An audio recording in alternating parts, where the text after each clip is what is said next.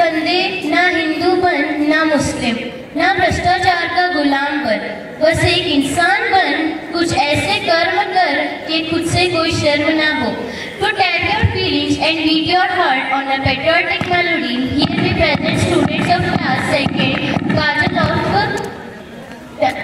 for dance presentation.